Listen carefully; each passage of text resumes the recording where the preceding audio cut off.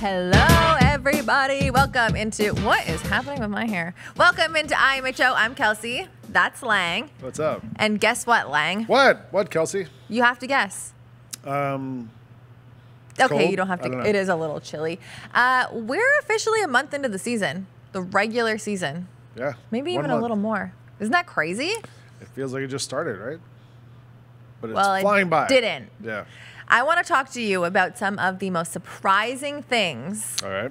that have happened or are currently happening in the first month of the NBA season. All right. Bum bum. I've got I've got two teams and a player. I That are surprising. also have two teams and a player. Are both your teams good surprises or are some of them bad?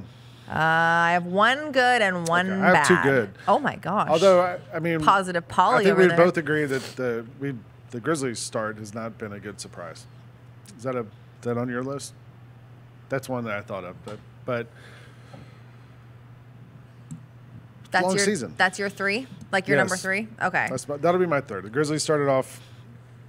Um, what are we now? Two and something two and at, as we tape this. Two yeah. and eight. But uh, as I tell people, it's a marathon, not a sprint. Kelcey, Championships aren't won in the first right.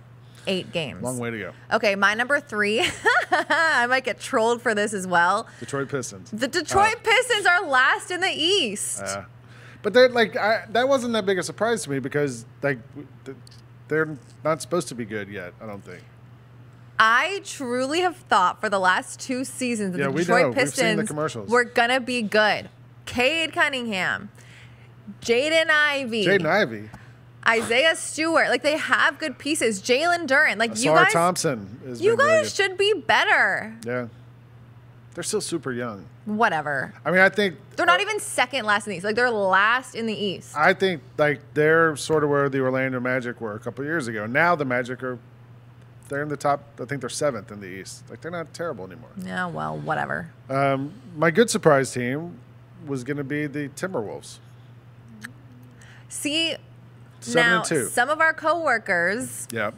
said they were suggesting that they it's Bennett Bennett was suggesting that and I said I don't know if I'm that surprised that they're good though Oh, I am. I didn't think they were going to be good. Like I thought this trade was not a good trade. like the Rudy Gobert the Rudy trade. Gobert trade, like giving away all your future stuff and getting in a second big man when you already have Karl-Anthony Towns. yeah I think I'm just so high on Anthony Edwards Sure, yeah, yeah. And he's clearly, it's sort of like it kind of doesn't matter what you put around him. Yeah. Like they're going to be great, but Mm-hmm. they've kind of figured out a way to make it work. And Mike Conley's playing well, and I don't know. I- shout out Kyle Anderson I'm just like Yeah. I just love Ant that I think I didn't want to be surprised by how good the team was going to be but I do agree with the two bigs like it didn't work super well last year you had to think a Georgia Bulldog was going to be this great. somehow we're always talking about Georgia on here How about them dogs?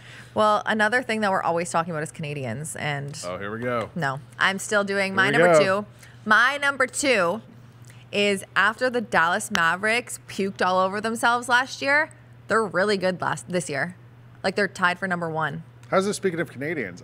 I thought I- we were go. I thought you were going to go with Houston and Dillon. No, Uh, that's my number two. Dallas being tied for first in the West right now after last year having this like weird implosion on Yeah. themselves. Being and it's not like I am surprised that Luka's good or that like certain pieces are working. It just seemed like the team chemistry was off last year. Yeah. It seemed like they were really just like a mess, and somehow they're really good this year. and they didn't make any like foundational changes. Nothing it's still huge, Luka right? Mm-hmm. and Kyrie and Jason Kidd and you know same Tim Hardaway thing. Jr. is like Yeah. balling now. Yeah, Um, so for my player, I was going to go Tyrese Maxey. you're surprised that he's really, really, really, really, really, yeah, really, like really, you know, really, really Philly. Mm-hmm. trades away James Harden, who led the league in assists last year and is an incredible scorer and all that stuff, and and now Tyrese Maxey, Maxey is averaging 28.6 points per game. He's in the After a top 10. fitty piece. Um, I mean, he's playing great. Mm-hmm. Uh, he's really stepped up and become like uh, that superstar level player, that second superstar in Philly. And maybe they don't have to go out and trade for another big star to, to put with Joel Embiid. Yeah, they developed one. Who do you have? Dillon Brooks The villain. leading the NBA in three point percentage, being 53% per that guy. 53% from the three. It is a small sample size. Dillon Brooks. If we had that small sample size right now, we would be shouting it from the rooftop as well. So that is my Sure. number one biggest surprise after the first month of the season. Dillon Brooks is a good basketball player. and Rockets are good. They're six the and three. out. That should that should Yeah. have been the number one. The Rockets are good this year. Yeah, they haven't been I good for a while. Got a new coach. Got Dylan, Fred VanVleet. Mm-hmm. You know, like they, it's all kind of clicking all of a sudden there. yeah.